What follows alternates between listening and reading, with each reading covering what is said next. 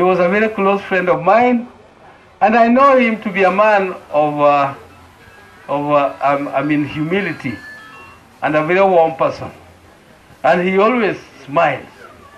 But when he crossed over to Jubilee, he became, he showed us a picture which I did not know about him. He came out to be a bit violent, he was a bit, a bit rough, and a bit uh, of uh, uh, intimidating uh, personality. But that, be that as it may, it is a big loss to our country because he is a potential uh, leader, and we knew that uh, he only wanted to be nearer power, and we are sure if Raila became president, Nkaissery would also be part of us.